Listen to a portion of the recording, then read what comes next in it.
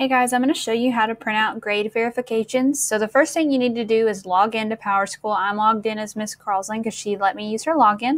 Um, and this is what your screen's going to look like when you log in. Uh, you need to click on PowerTeacher Pro and it'll bring you to this screen. So to print your grade verifications, you're going to go down on the left and click on Reports. And then you're going to click on Score Sheet Report. Um, it's going to open up this, and this doesn't originally say grade verifications. I had just popped that in there because I did a test run before I recorded, but it'll say something like score sheet report. Change that to grade verifications. Um, and then down here under classes, so Miss Carlson team teaches, so her classes look a little bit different than yours.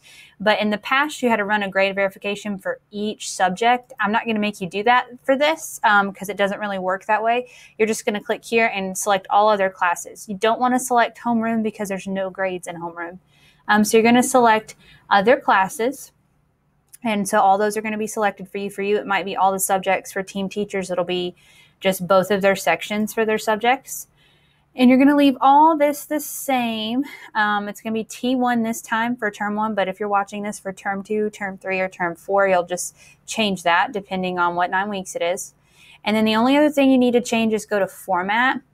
And um, you can go down and you want the page break between classes. I think that's already checked for you, but make sure that's checked. And then down here, you need to make sure that signature line is checked. You want a signature line on there on the page. And then you'll click Run Report and it'll run it and it says it's been queued. So you're going to go up to your to your reports tab, click reports queue, and you see she's got a score sheet report. And then she clicks on that and it downloads. I'm not going to open it up because it has student names on it and I'd have to blur them out. Um, it does look a little different from last year. Um, it it's pretty much the same, just the format's a little different.